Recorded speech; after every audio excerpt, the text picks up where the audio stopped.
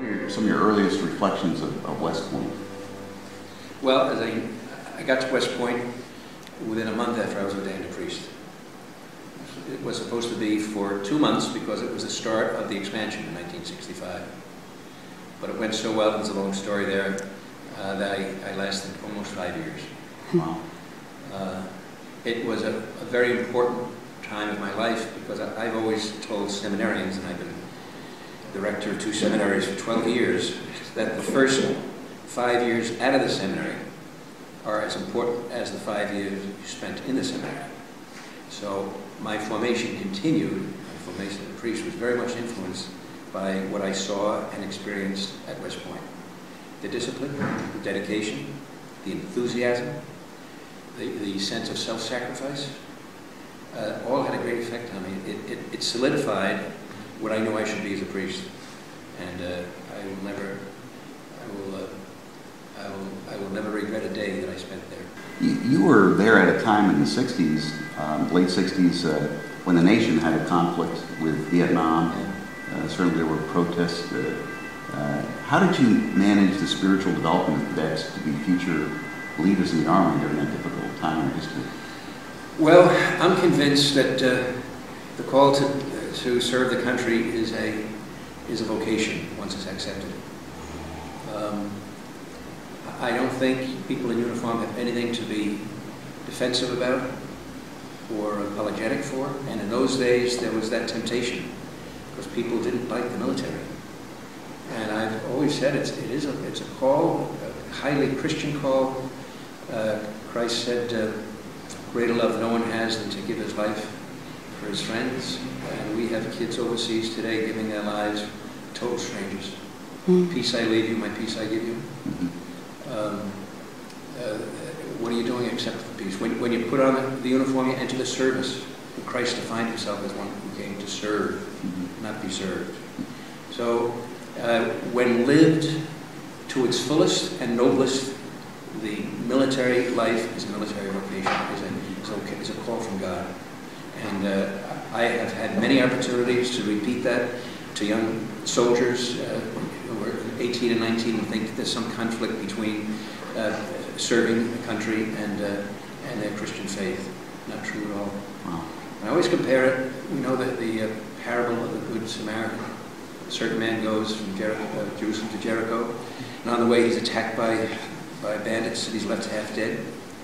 Uh, three people pass by. The first two were very busy. They were high-ranking uh, in the faith of the day.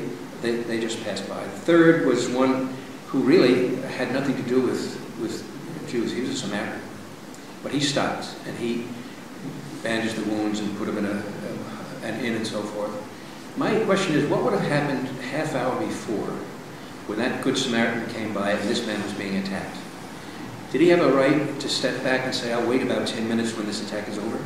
Or did he have a duty, an obligation, to step in and do what had to be done to put an end to that aggression? That's what our military is for, and that's what our military has done consistently throughout our history, and we should be proud of that. Moving on to a little bit uh, uh, different topic, uh, I understand you went to airborne school. I did. Did you volunteer for it? How did you, what, were your thoughts going Well, in 1969, I asked uh, the new Cardinal, Cardinal Cooke, if I could enter military as a chaplain.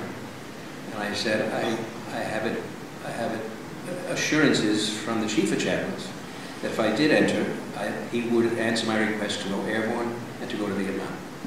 And uh, the Cardinal Cooke released me, and it was on my own uh, request. I was the oldest one, and I don't know how many were, were doing jump school, but I, I was the, the, grandfather of the whole lot. And got a hard time from the from the black hats, they call it. Sure. Yeah, yeah. But it was fun. Uh, not always fun going through it, but looking back on it, it had a tremendous effect on me as well. The whole three active years in the Army did, especially sure. the one in Vietnam. Wonderful. And when you uh, when you deployed to Vietnam, uh, I believe it was with the 82nd Airborne. No, I was with the 173rd Airborne. Okay. And when they stood down, I spent the final few months with the uh, first cav. And then I guess a generation later, um, you came back to be the Archbishop of the Military Services. That's right. For, yeah. for a decade. Totally unexpected. Wow. Yes, yeah. yeah, I was uh, I was here in Rome for five years as head of the seminary here. And I was in New York for seven years as head of the seminary. I was made a bishop auxiliary to Cardinal O'Connor my last year uh, in the seminary work. And I thought I'd stay in New York. And he called me one day and said, uh, you've only been a bishop for a year, and now you're an archbishop. I couldn't, didn't know what he was saying. He said, the Holy Father's going to ask you to be the archbishop for the military. Archbishop Dimino was my predecessor, another New Yorker, and uh, he was failing in health, and uh, it was a, a great move. I, I had a wonderful time. I liked travel. Uh, I liked uh, the work, uh, and certainly liked the, the people I was working with. And you, you do, well, we went to, I assume, uh, Iraq and Afghanistan. Didn't numerous make it into. Afghanistan. Very hard. I was in uh, Iraq twice. I tried to go every year, but I realized that uh, if I went, there are well over uh, a hundred other endorsing agencies, and the head of those agencies would feel they had to have the same opportunity, even though we're by far the largest. But I was to, uh, to Iraq twice uh, and couldn't get over there any, any longer. I think one one of the, uh, uh, one of the great questions that the audience for the West Point Society of Philadelphia would like to know um, is that uh, uh, what you uh, learned and experienced at West Point, its timeless values of duty, honor, country, how has that prepared you for your current responsibilities to participate in electing the next pope? Oh, I, I think the whole military experience solidified the, uh, the, the sense of commitment and responsibility. And uh, this, is a, this is a high responsibility I have. And going into the conclave, I realized that. Uh, and I never thought I'd, I'd be in this position. Uh, before the conclave, we have any number of conferences, uh, state of the church, uh, just to orientate all the voting cardinals.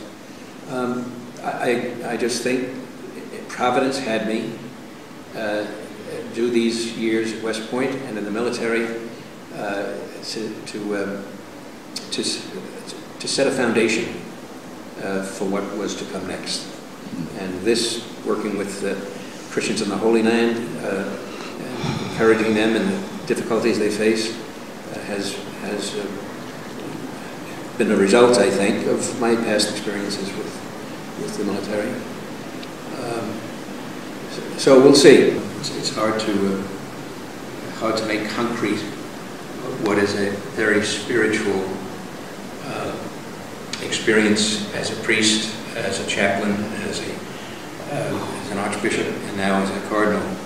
Um, Nothing, there's no planning these things. It's- it- God moves you around, you just say yes. You be in the right place at the right time, doing the right thing. That's what you're trying to be. Great. Yeah. Well, I wanted to present you with something from the society.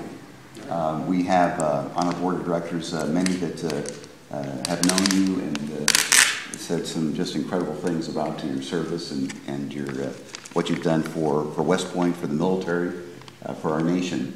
Uh, I know that uh, uh, Bill Deal, our vice president, has said uh, so many things about you. Uh, uh, Hap Trainer is is another Oh, one yeah. um, that uh, uh, uh, says so many great things. And uh, Jim Molesky is another Okay. uh, one is- that, uh, that uh, is, is working with your Monsignor for, for for the schedule at, at the time.